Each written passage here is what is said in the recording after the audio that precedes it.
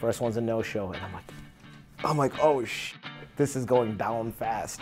Okay, Epstein. And that's the worst call as a business owner when you get somebody, you're, you're like happy, go like, hey Mark, what's up? Your sucks. It's like, oh, don't like that, you know? So there's a lot of excuses mm-hmm. from call centers why quality leads are so bad. What happens is when things are easy, people get comfortable. I have yet met one company who rely on telemarketing leads exclusively. What's happened with the leads when they were coming easy, they got lazy and they got simple. So they're sitting there going like, well, Dimitri, I'll get sales, but where are my leads? I've tried five telemarketing uh, services, didn't work. I am next to you on airplane. So I don't know who you are. We just sat next to each other. Uh, what do you do for a living? Um, I help businesses handle their back office uh, problems, their administrative tasks. I manage and run their companies from a in the office aspect. In what niche?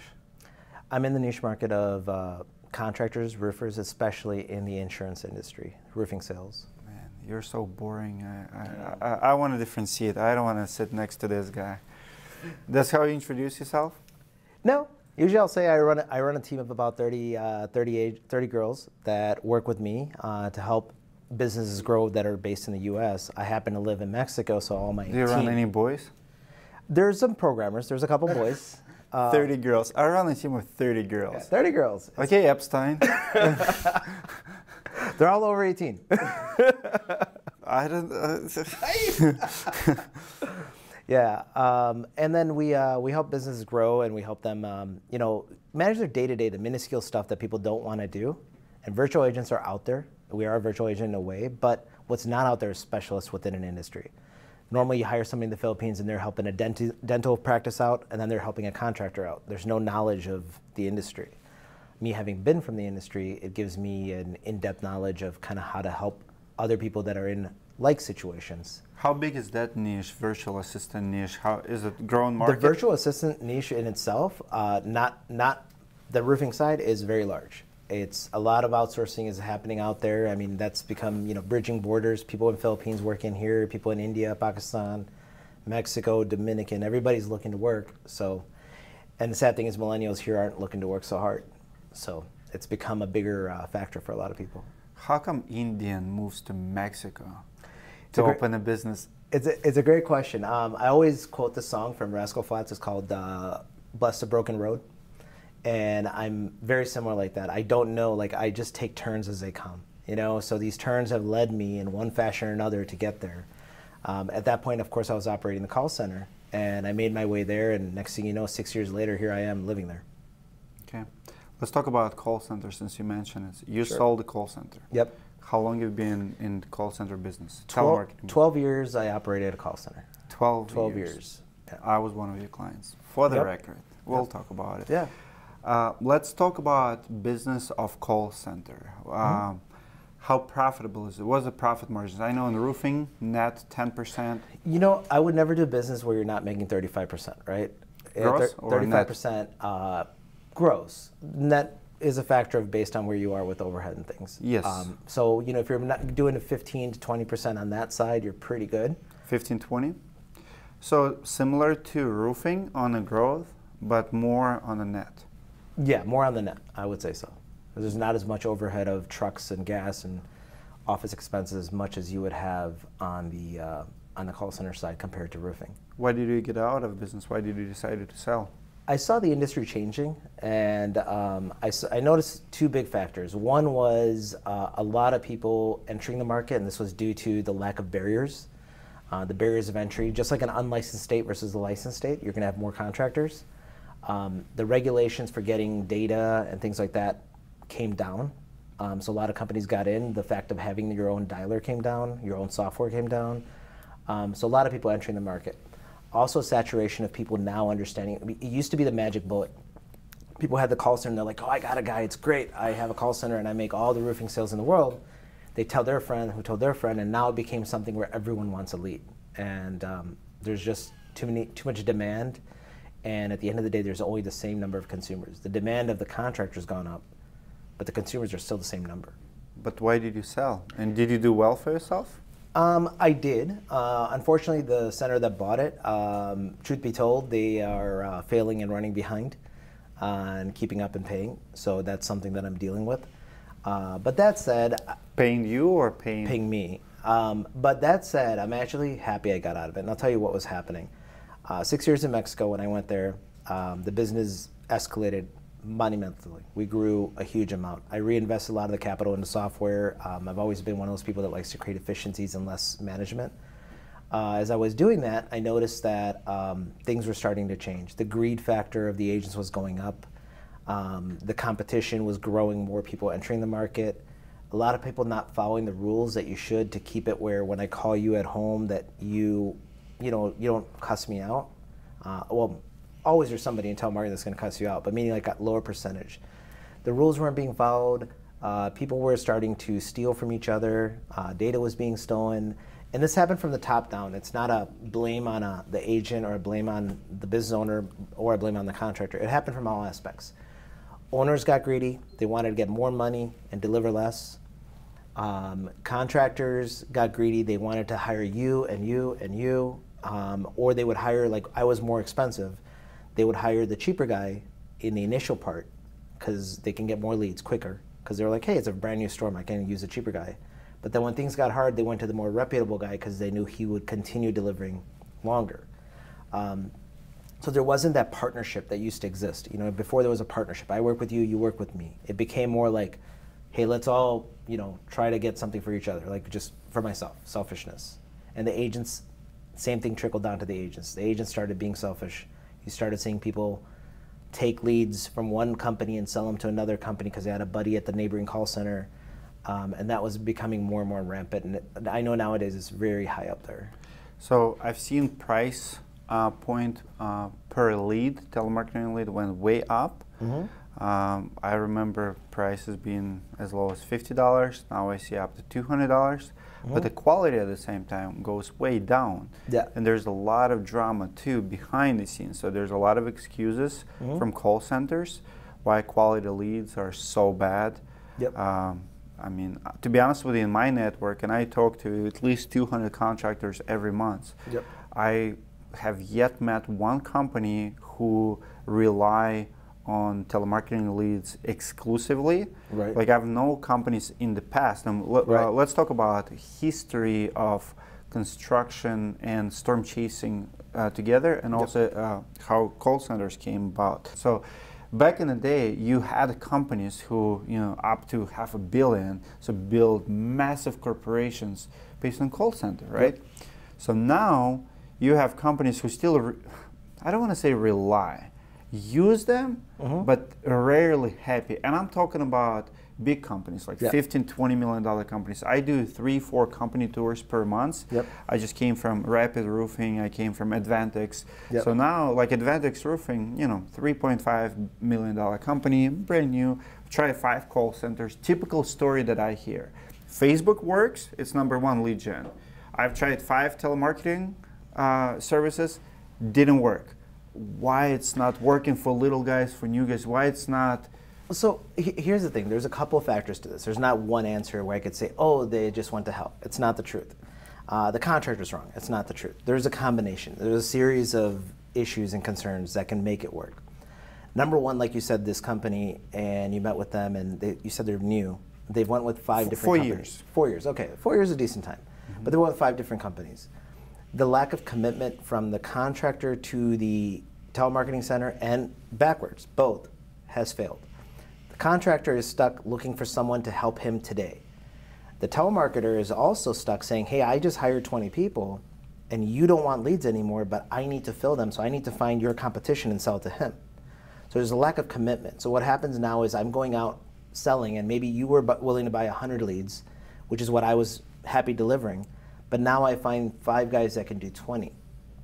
Start selling to five of them. Now those five guys, some of them grow. All of a sudden they want 40, they want 60, they want 100. Now I'm in the in the uh, widget business. I'm not in a service business. I'm more in a production business. I just want to produce and satisfy you. Like here's a lead.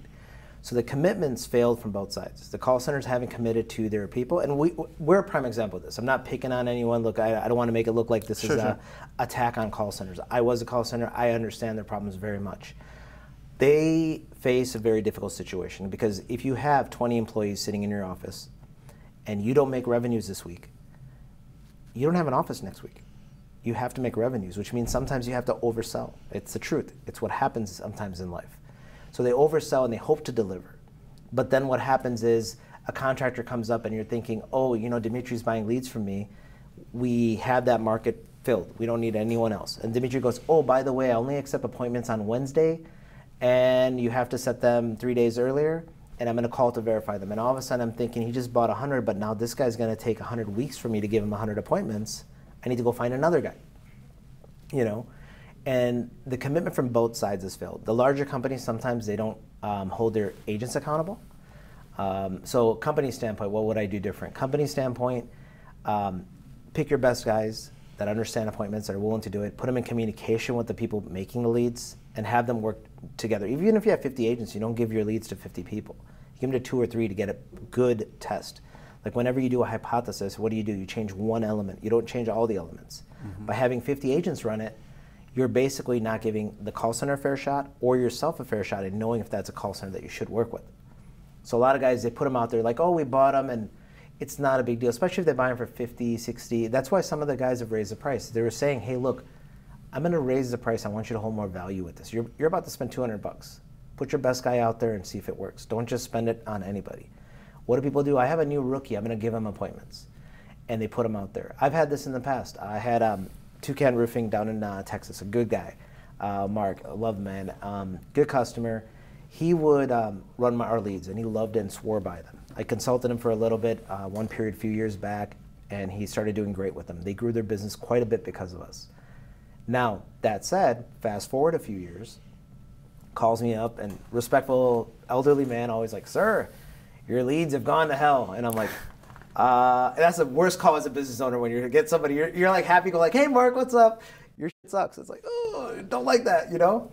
So I'm like, What's going on? So he tells me, and I look through and I'm trying to be unbiased, and I'm like, Okay, let's do, let's do one thing. There's four appointments on the board for tomorrow morning would you do me a favor and run those appointments? Can the old man still sell? So I kind of like guilt him a little. He's like, of course I can sell. I go, well, can you get out there? Because in my mind, I started thinking new agents, nobody I knew.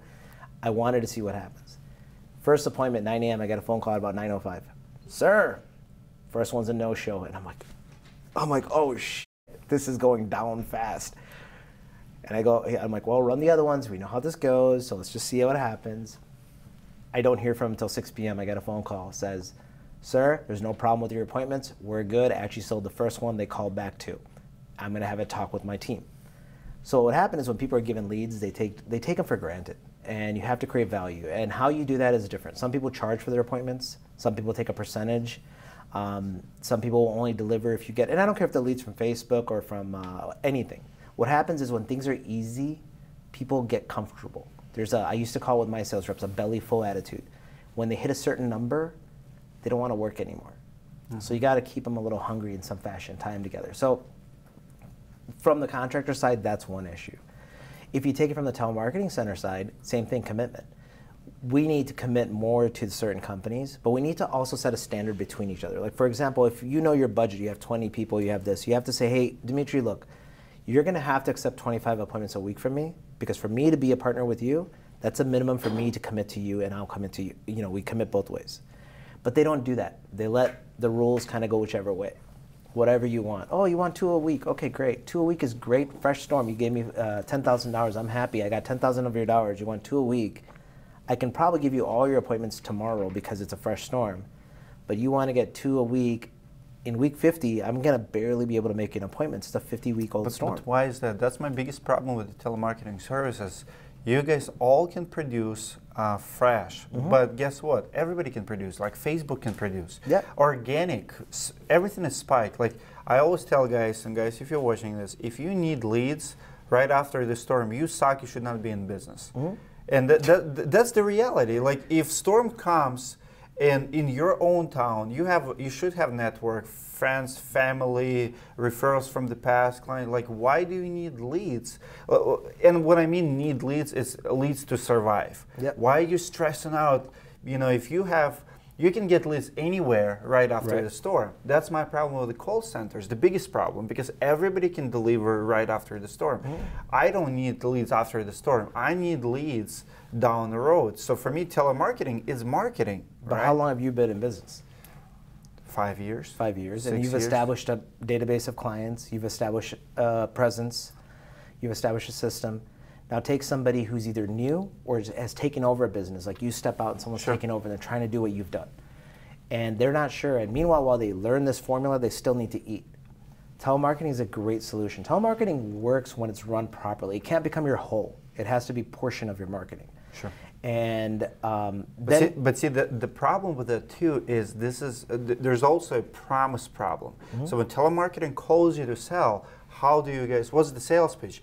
Are you ready to take more appointments like right now? And um, it's almost like drug deal. Mm-hmm. Like you want to, they want this pill. They want to feel good right now. Yeah. And if you take that pill, you feel good now, but tomorrow you're hurting. Mm-hmm. Just like if you go to the gym, don't use you know steroids. Like if you want to grow your muscles, you know it's hard work, but it will Right. work. I mean, if you're gonna start injecting today, it'll grow today, but two weeks later, you're not fixing anything. Right. You know, you still have to work hard. No, you do have to work hard, but the problem is like people became good with the low-hanging fruit. So this is what happened. The sales quality also went down. Forget the phone part. Let's say I get you those 100 appointments. When they come easy, what happened now is people just went for the low-hanging fruit. The follow-up fails, and we know this in all leads, like in any industry, follow-up is a very poor thing for salesmen. Because why? Salesmen are about today. They're about now. What's going on right now? What's in my peripheral? That's all I'm worried about. I'm not worried what's behind me because we keep moving forward. That's how salespeople are built. It's a gift, but they need to partner up with someone to help them with the behind them, right? But what's happened with the leads when they were coming easy, they got lazy and they got simple. So they're sitting there going like, "Well, Dimitri, I'll get sales, but where are my leads?" So they're not real salesmen. They're not networkers. They're not creating new avenues of approach. They're not trying to, you know, talk to their friends, talk to their neighbors, go sit at a local tavern and say work something out with someone there and say hey if you refer me business i'll refer you business. And you know those type of things you don't see them as much. They've gotten lazy. They want you to spoon feed them. Like give me business and i'll bring you a contract and you pay me. Like it, there's like no initial effort from these people to do it. And this carries down to the call center too. The guys are like well we used to call and you know like i'll tell you the real numbers because uh, one thing about me i've always built systems so we track a lot of numbers. Sure. Unlike a lot of people you're going to find and it's just because i've Numbers invested in don't software. Back when when a storm would happen the percentage uh, what would you get this, the percentage? If i call 100 people i actually say hello. So forget the people that don't answer answering machines. If you say hello what percentage of appointments would i get in a fresh storm of those 100 people? When? a fresh storm happened two days ago. 40 okay. Three. Three percent. Out of 100. Out of 100. So you have to call 100 people to get three Right. answers. so pick a storm that you know recently like how Okay, many h- people How were long affected. will it take you to, to make 100 calls, or to dial 100 calls? depending on your system and the number of people you have. So for us, I mean, we did 100,000 phone calls a day. So, but we had 100,000? 100,000, 100,000, 150,000 a day. So 3,000 people would answer phone call. Yes, hypothetically. But that's the phone calls. Remember, there's also a percentage I didn't tell you about, like how many people just are bad numbers, not connecting, answering machines, etc. So it's less than that.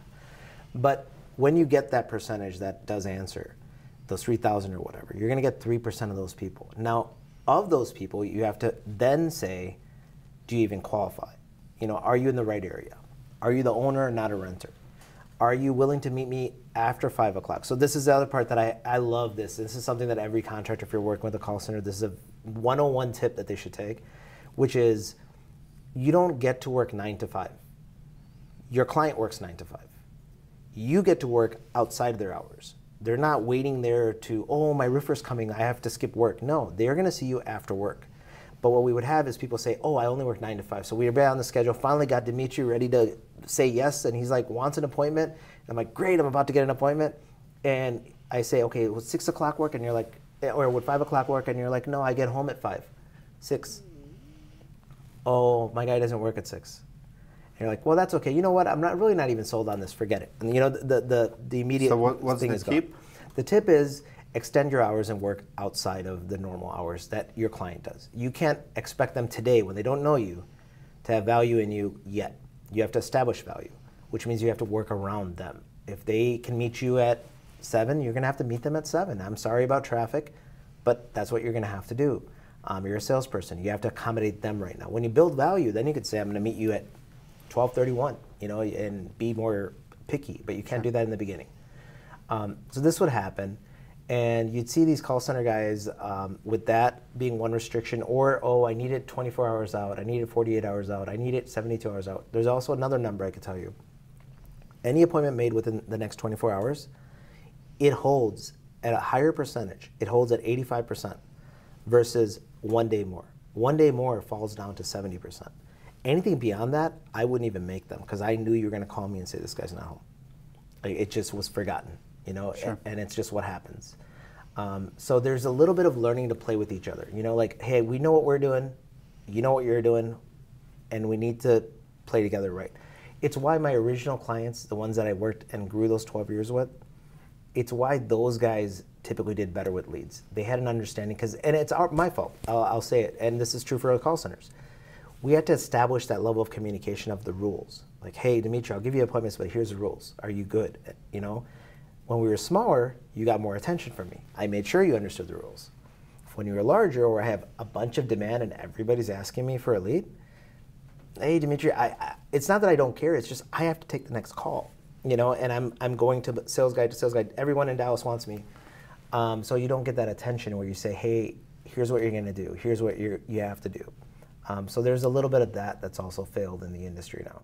Hey everybody, boss up, subscribe and like, give us a thumbs up if you like this video for more content just like this.